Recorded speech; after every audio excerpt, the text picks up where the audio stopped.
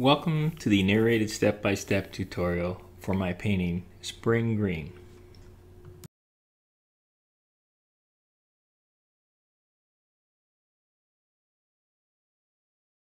The photograph on the right was the reference and inspiration for this painting. I was attracted to it with all the, the bright green colors as the, the leaves start to come out in the springtime, but there's still a lot of kind of drab neutral colors around from winter still where uh, a lot of the ground cover hasn't quite recovered. There's a few adjustments I made to the composition. There's a long branch in the photograph that's coming out from the big uh, tree in the foreground. I really didn't like that branch in the composition, so I left it out. And I also altered the placement of a few of the rocks to, to uh, what I felt better fit the frame of reference for my composition. And there's some areas where I simplified. This is the pencil sketch. I'm working on a quarter sheet, 11 inches by 15 inches of 140 pound cold press Lanaquarelle watercolor paper and I've drawn this with a B pencil. And really what I've done is drawn the major shapes and suggested where some of the placement of the rocks and the trees are. You can find the sketch from my online learning center landing page. If you go to the landing page for my online learning center and go to the top, you'll see a tab labeled YouTube reference. Just click on that tab and it will take you to the reference material for this tutorial.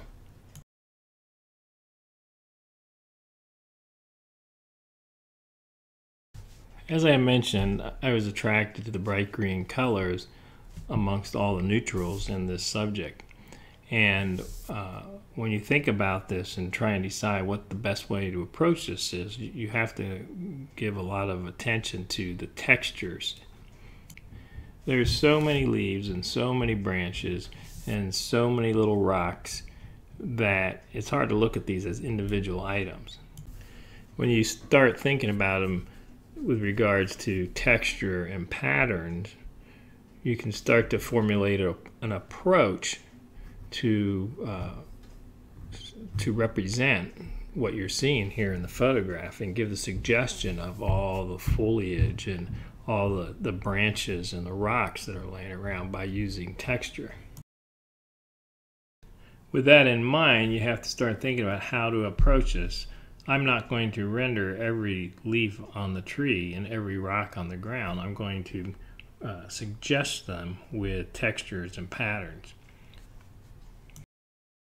I want to capture the, the sparkling green tones against the darker, uh, sometimes cooler tones that are behind it, the, all the bright tones.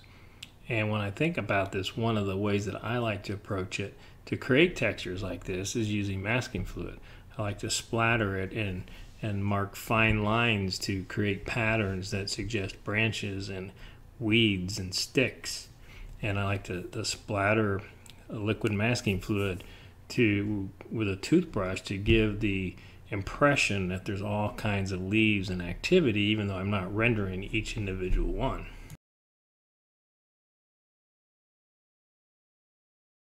I'm going to begin by using a uh, bottle filled with liquid masking fluid and it has a, a fine point on it. it has a steel tip. This is typically used for quilling uh, for glue. However I fill it with masking fluid and I find it much more economical than the pre-packaged ones which you buy.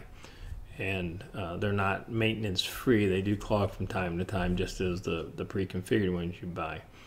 But I find it's an economical solution. So I use this to start to create the patterns created by sticks and briar bushes and then I start to indicate where some of the distant tree trunks are by putting a bead of this there. And when you're using this, you don't have to squeeze the bottle hard. If you do, you'll you'll get a very inconsistent uh, stream of masking fluid. You just have to put a light pressure on it, just enough to keep uh, the fluid flowing to the tip and you almost write with it like a pen, but you don't have to squeeze it out like you would if you were trying to glue something. Um, and sometimes when it, you do get an inconsistent bead, you can just use the tip to kind of smooth it out a little bit.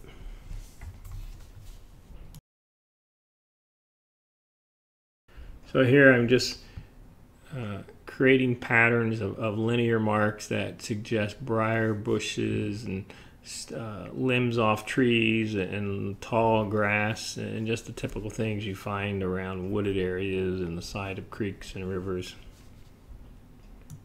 And as I do this, I try to create overlap. So I'll bring uh, a bead of masking fluid to the edge of a shape and I'll lift it, the tip, and I'll pick it back up on the other side of that shape. So it gives the impression that the linear mark is going behind the particular object.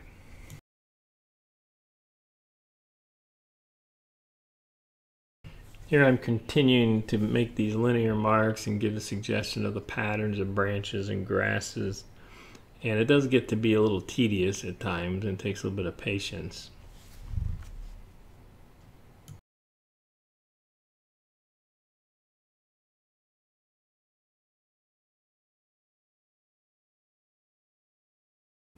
Here I have a bottle that has a wider opening. It doesn't have a steel tip and it gives a, a, wider bead and I've what I've done is I've filled these tree shapes, these trunks using this wider bead.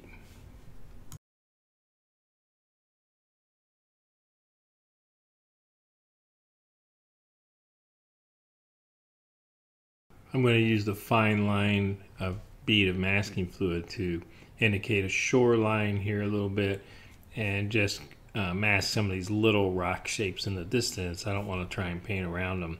It's easier just to mask them initially and then come back and remove that and save the white that way.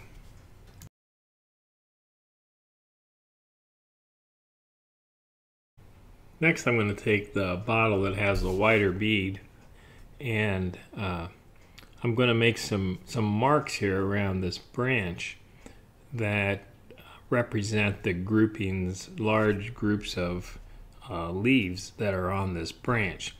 And um, these are uh, shapes that I want to be a bright green. So what I'm going to do is I'm going to mask these leaf shapes just kind of randomly using this bottle and then it'll dry and I'll paint with some darker values over top of this and then later I'll remove the masking uh, fluid which will, will reveal these white shapes that I can then come over and glaze with a with a nice bright green yellow uh, tone. This is what I mean when I'm talking about patterns, these marks, this, these groupings of the marks that I'm making, create a pattern that gives the suggestion of these larger leaf shapes that are uh, closer to you than all the, the distant ones.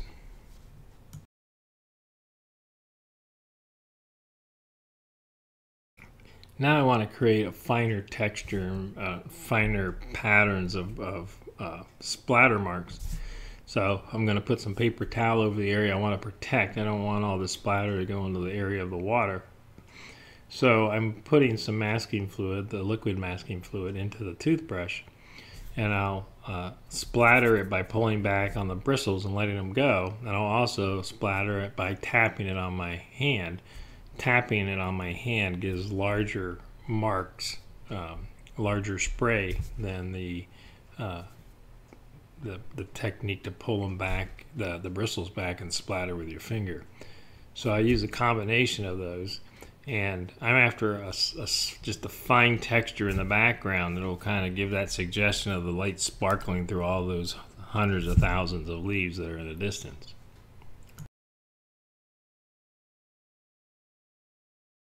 Here I've moved to the left side and I'm splattering some more of the masking fluid in this area here to suggest bushes on the ground and leaves up in the tree and i am using both techniques where I pull back the, the bristles and splatter it and hit it against my hand. I've let the masking fluid air dry. I don't like to use a hair dryer because I feel it affects the, the way it bonds to the paper and releases. Um, so I've let it air dry completely and now I'm going to come in and start painting. And to start I'm using some cerulean blue and I'm just painting the areas that would be uh, where the sky comes down and uh, to the point where it hits the, the tops of the trees. And it's going to go beyond some of those tree tops because there's going to be patterns of the blue tone coming through the trees, uh, as, through the leaves and the branches. So I kind of randomly randomly bring this down and just apply this middle value cerulean blue wash to suggest the sky. Now I'm going to paint the shapes that represent the distant tree lines and the bushes and, and some of the shoreline. And I'm doing this with a big wash brush. This is a jumbo round small silver black velvet brush that I'm using.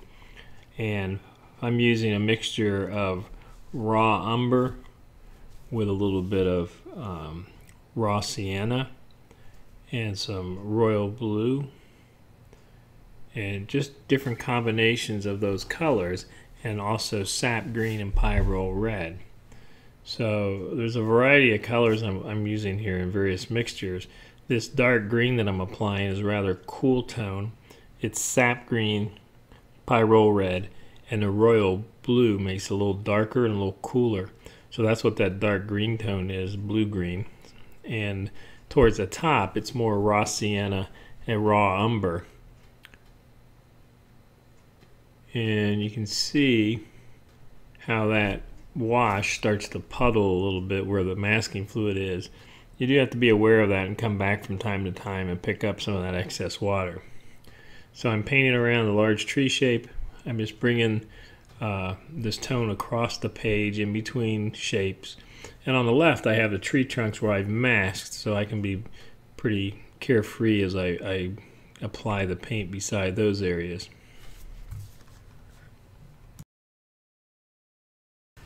As I apply the wash, I try to keep both a warm and a cool element as I move throughout the composition. So some of the green tones I'm putting down are fairly cool, uh, while others will have a touch of warmth to them, such as what I just applied. So my warmer mixtures tend to be sap green with pyrrole red, and they might have a little bit of royal blue to darken them if I want it to be a dark value, but the sap green and pyrrole red give me a pretty uh, good green and I can take that to the warm side by adding the red.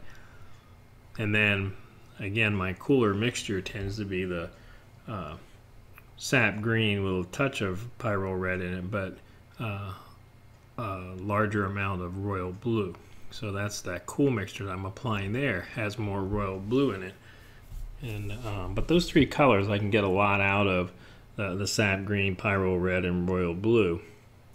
And then uh, this mixture, I've added a little uh, rose madder to even give it a, a, redder tone. And that, that combination I have there is almost giving me a neutral gray. I've I've mixed some reds and some greens, and um, it's giving me a bit of a neutral tone on the right side. And this mixture here is a little bit more sap green and then I'll bring in uh, some that has a little bit more red in it.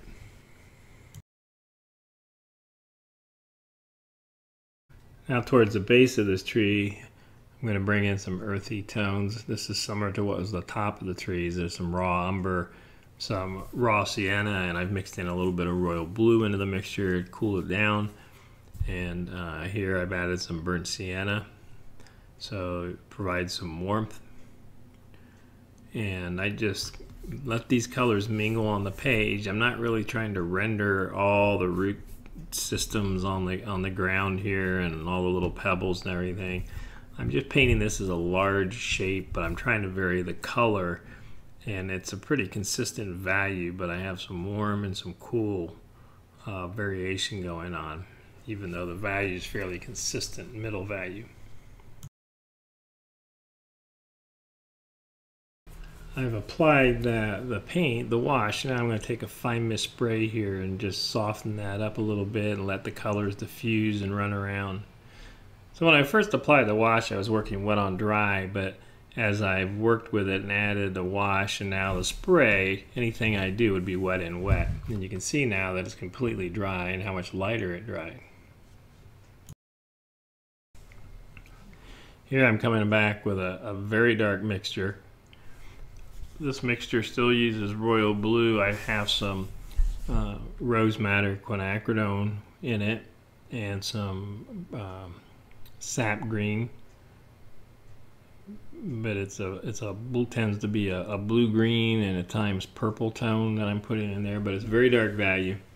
And here I'm going to soften that and just diffuse that color around there and, and keep in mind that there's a lot of masking fluid which has been applied in these areas so even though I'm putting this very dark value down once I lift the the masking fluid in some of these areas there's going to be a lot more light than what there is right now but it will be contrast by these dark values that I'm applying at this point in the painting process. And here as I apply this paint, I'm uh, once again I'm going to uh, come back and I'm going to soften that up a little bit and let some of that paint run by using a fine mist spray bottle. I had applied uh, a middle value wash before, but it really, once it had dried thoroughly, it, it lightened up quite a bit. It really um, lost some of its value. So now I'm coming up back in with some more powerful value and uh, putting it around in a lot of these areas in a very fairly large shape. And here's where I'm going to take the fine mist spray and just diffuse that color and let it run down.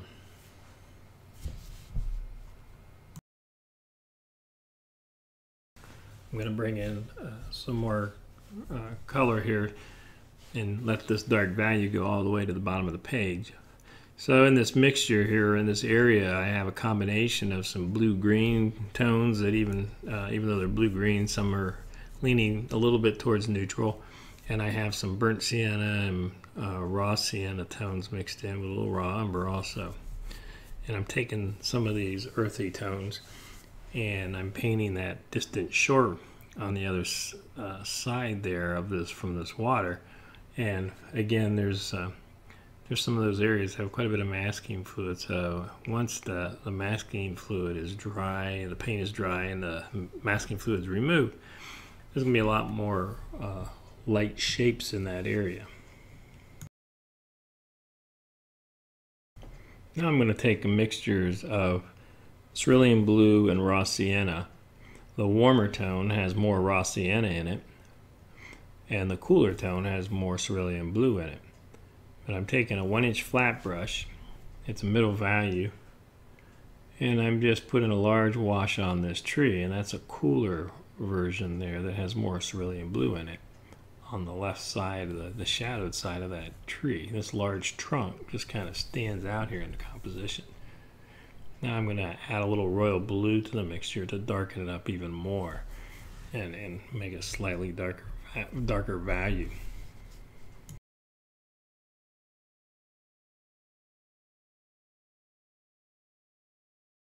Now I'm going to begin to paint the water and I'm going to start with a wash of cerulean blue. The cerulean blue has a little bit of uh, raw sienna in it.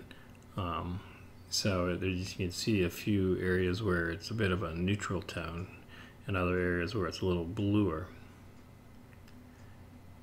So well, I'm using a one inch brush still and the direction of my brush strokes help describe the, the contour and the, the flatness of the water. So I'm trying to put apply the paint now with with the uh, purpose and the direction that I'm making my brush strokes. I don't want them to be vertical at this point because it's a horizontal surface. I want to contour that surface and the water is very flat. And you can see how moist the mixture I am is I'm putting down. There are times when you might want to use a dry brush effect on the water like this, but that's not my intent. And um, I'm trying to give full coverage as I apply this.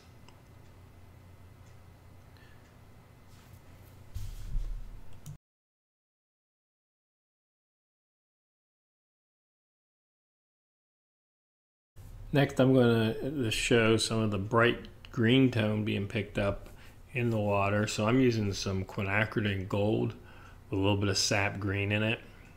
Gives kind of a green gold tone. And again, my brush strokes are moving in, in the direction uh, of, of the, the contour of the, the water. So they're, they're moving horizontally so that I can help describe the contour of the water. And here I've got uh, quinacridone gold is that bright gold tone, that rich gold color.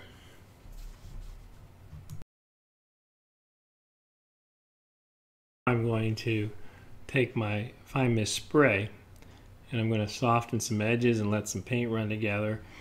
And I've made the horizontal brush strokes and when I use a spray bottle I start to get a vertical element uh, because of the gravity. I'm working at a, a 20 degree angle. Gravity starts to pull that wash down from the spray. And what I like about that is my brush strokes have been horizontal, but that vertical element is more of a reflection of what's going on on land with the tree trunks and the foliage, which is a vertical element, but it's just picking it up in the reflection. Now I'm going to paint one of these rock shapes, a very dark value. I'll be using mixtures of raw umber, burnt sienna, some uh, quinacridone gold mixed in, and uh, some royal blue, but I'll be using warm and cool mixtures and combinations, even, even though some of these areas are very dark value, I'll still vary the warm and the cool that I'm using. Um, but you can see uh, it's a very rich tone if you look at the area I'm painting now. It's quinacridone gold with some of these other dark value mixtures blending in. Uh, and uh, the area I just painted there has a little bit more royal blue, so it's a cooler mm. element.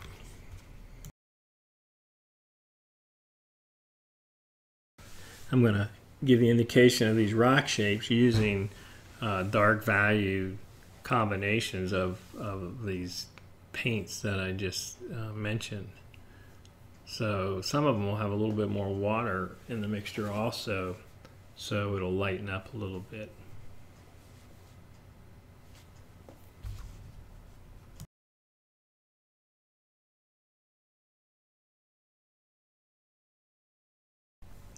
You can see I'm using the same treatment on several of these rocks and using the same colors also. So some are larger than others, some are longer, some are just little spots, just little touches of value here and there uh, in the distance to give you indication of some smaller rocks. And keep in mind, early on, I decided to eliminate some of the, the rocks that are in places that I didn't care for. Or, uh, I'm not trying to paint every rock that was showing in, in the photograph.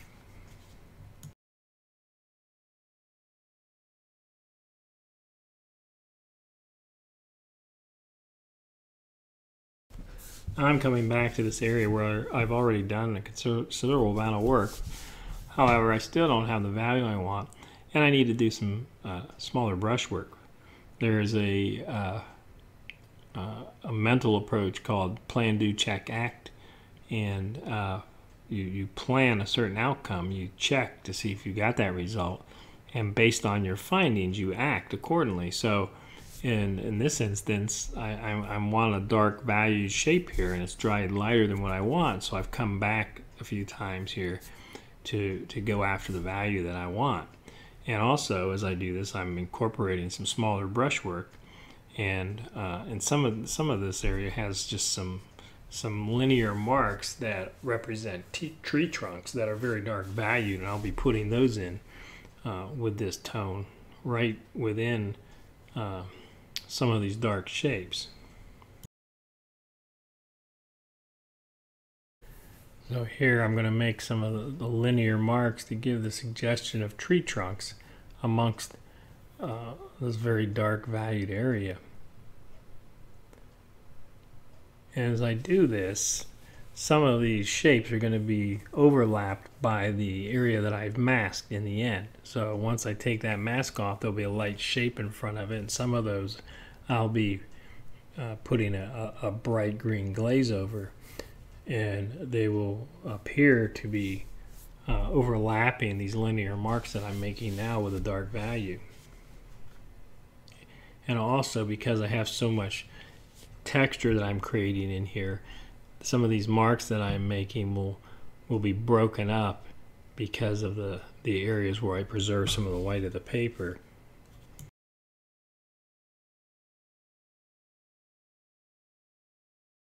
Here I'm moving more to the foreground and uh, I'm taking that, that dark value and giving a suggestion of some branches amongst these tree trunks here.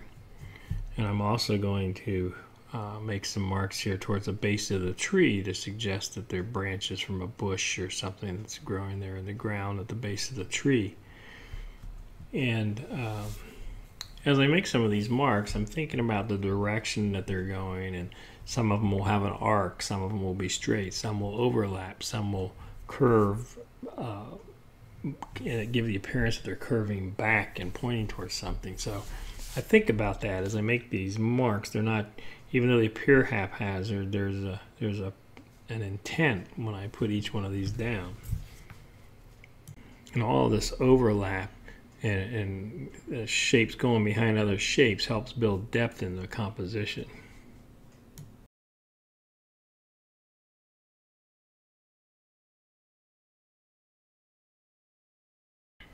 Now I'm going to take some clear water using the one inch brush and I'm going to make some horizontal marks, some little puddles of moisture on the area I've already painted and now I'm going to take some of these darker values that have sap green and pyrrole red and royal blue in them and some raw umber. And I'm going to let that uh, color diffuse, diffuse in these areas that I applied the clear water. So these are picking up the, the, uh, the tones and the values that are in these trees.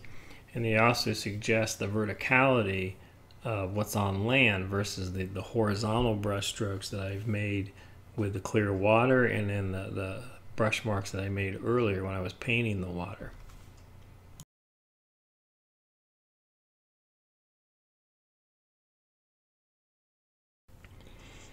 Here I'm, here I'm adding a little bit more of this dark value.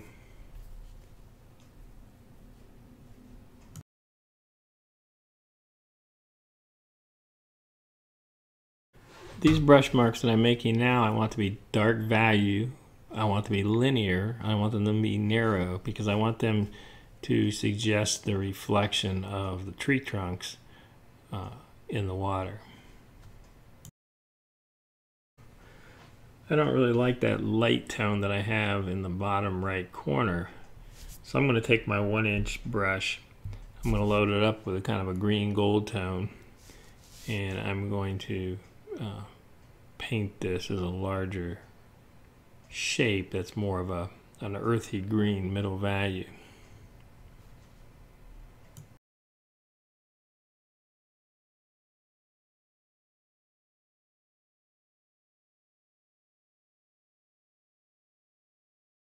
So I've thoroughly dried my paper and I'm going to take my rubber cement pickup eraser I'm going to rub it across the surface to pick up all the areas where I had splattered and made marks with uh, the liquid masking fluid. And as I do this, I try not to drag my pickup eraser into the tape from the inside going out. I try to come over the top of it or along the edge so I don't pull up my tape. But you can see that comes up uh, fairly quickly once you start going. The the eraser itself is about two and a half by two and a half uh, square and it covers quite a bit of area with just one pass but you do have to go back over the areas a few times and rub it so you get everything up and I go over it with my hand so that I can feel where there's any uh, residual um, masking fluid.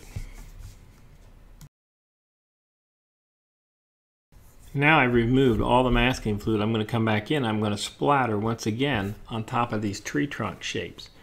And you may ask, why would I do that after I've already had it on and taken it off? It's because you, you have to think in your layers and in your planning realistically what would happen. So I have all this activity with branches and leaves, and uh, I've, I've applied that texture using the splatter of the mask, and I also covered these trees. So now that it's uncovered, if I paint the trees, it's going to have nothing overlapping it. So what I'll do is I'll splatter it, dry it, and then I'll come back and I'll paint the trees. So now when I come in here and I paint these trees as I am with a, a dark middle value, there's areas where I have just splattered that are going to remain light once I remove that dried masking fluid, once everything's dried. If I had not gone back and splattered on top of this again, you would you would get exactly what you're seeing right now. It would just be a solid tone with no overlap. And realistically, with all these branches and leaves everywhere, that that wouldn't happen. You're going to have some leaves in front of these tree trunks, and so once I dry it and I remove the mask again, I'll have some light splatter marks on these trees that I can glaze over, and it'll look like there's leaves on top of these trees. I couldn't have gotten that effect if I didn't take the time to to splatter some masking fluid on them once again before I started to paint them. Another approach is I didn't have to necessarily mask these trunks and I could have just splattered it and then painted the trunks and I would have had the same effect. I want a darker shadowed area on these trees so I'm taking a half inch flat brush with a dark value mixture with some some royal blue, some raw umber and I'm just making some vertical marks on the back edge of those to give the suggestion of shadows. And then I'm going to paint some some tree trunks back in some of these areas where I had so much heavy masking. Uh, I want to pick some of those shapes up a little bit.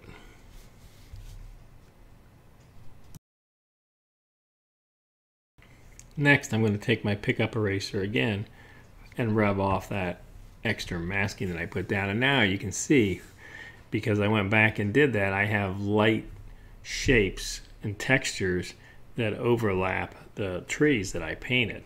Had I not done that, they would have just been a solid tone and it wouldn't have matched what else the, the other activity that's going on in the composition.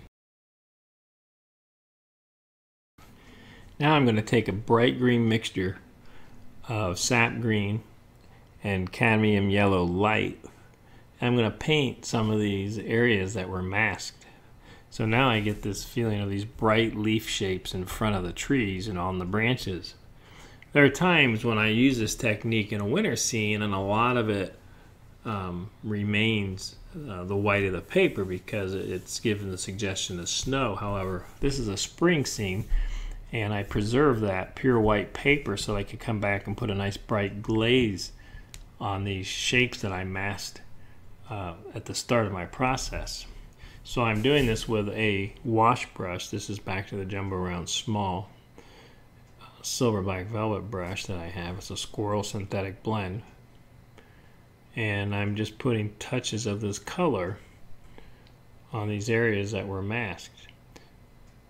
So this still represents some of these leafy shapes from this, this tree in the foreground.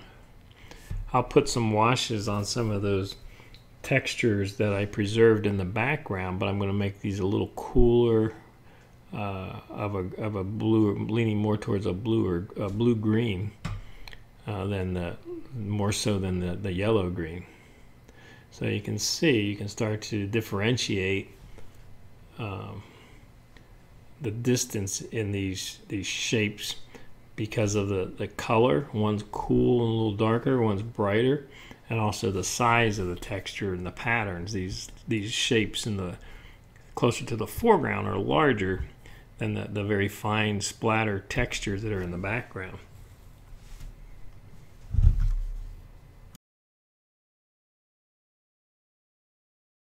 And as I move around putting the various glaze, uh, glazes on some of these areas, I'll change it up a little bit and I'll go kind of to the blue, the cooler blue green tone, and I'll go back to the bright yellow because there's a lot of there's sunlight hit in some of these areas, there's shadows in some of these areas, so I try to mix it up both with warm and cool. There's so many different greens available to the artist to use, uh, but I really don't use that many. I kind of use sap green as one of my base colors. It's a convenience color, but it's it's a tone that I like to work with, and I can shift the hue on it by adding blue or adding yellow to it. So I can take my sap green, I can make it more of a yellow green just by adding uh, a, a yellow tone such as cadmium yellow. And if I wanted to uh, move more towards uh, the blue side, I can add uh, royal blue, I could add ultramarine or cobalt. So I can shift the hue by using that one base green, or I can mix them totally from scratch just using yellow and blue. A lot of that's up to personal preference, but I don't feel the need to have 10 different tube colored greens in my palette because I can get a lot of mileage just by using my sap green.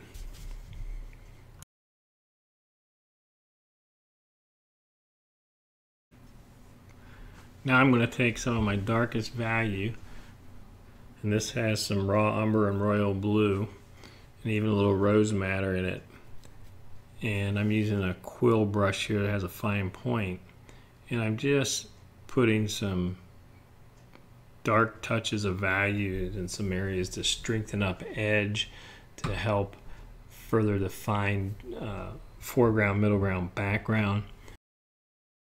This is something I do in a lot of my paintings, no matter what the subject. Towards the end, I start to come in and make these dark valued shapes and I do it where shapes intersect. I, I do it where I feel an edge needs strengthened, or I, I, I, put them in places to help further define the, the spatial relationships between the, the foreground, the middle ground, the background. And uh, some of these just these last minute marks really help um, bring some some more depth and strength to the overall painting.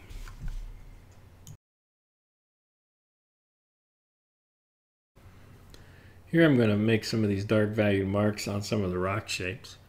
However, uh, the marks that I'm making here aren't going to be as uh, strong a statement. They're not going to be as large. They're not going to be as many as what I've done in the foreground here on that the large tree. So there's a little bit of a shadow here on this rock and a little reflection.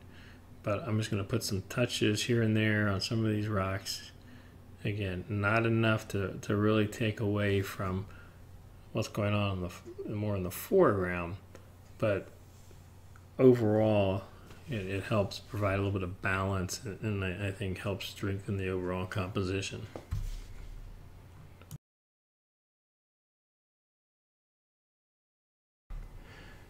Next here, I want a darker linear element, and particularly in closer to the foreground here. So there's a branch that's kind of gotten lost. So I'm taking a, a rigger brush with a dark value of raw umber royal blue. And um, I'm just giving an indication of, of the branch and the branch shapes. And uh, some of these branches that are coming off and coming in from the out from the frame of reference here in the composition from that you can't really see their origin, but they're they're coming in from the side and coming down. And here I'm giving a suggestion of moving behind the tree trunk.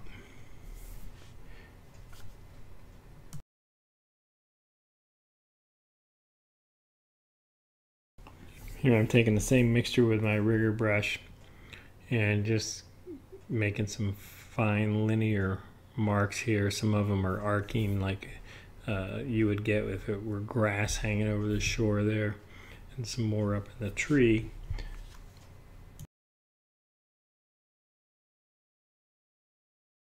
I want to have a stronger, larger dark value on the back side of this tree, so I'm coming in once again and making a, a, a stronger dark value uh, shape here to, to make it look like it's more in shadow.